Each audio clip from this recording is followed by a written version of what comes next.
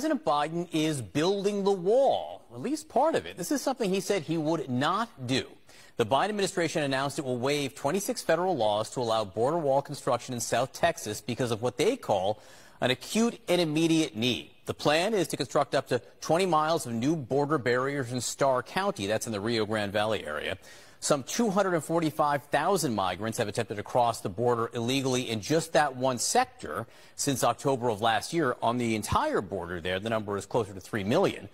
Hundreds of migrants rushed past border control agents near El Paso yesterday.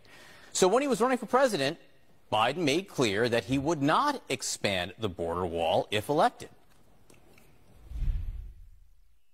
Trump campaigned on um, build that wall. Are you willing to tear that wall down? No, I'm, there will not be another foot of wall constructed in my administration.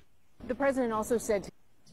No, I'm, there will not be another foot of wall constructed in my administration.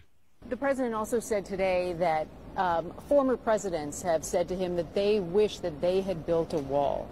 Do you I recall President Obama ever saying that? I can't think of a single one who said that. We need that um, former presidents have said to him that they wish that they had built a wall. Do you I recall President Obama ever one. saying that? I can't think of a single one who said that. We need border security, but that's not the border security we need.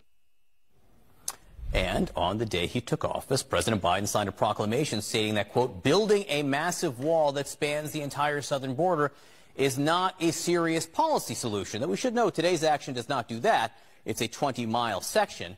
Nevertheless, it is very different than what President Biden campaigned on. President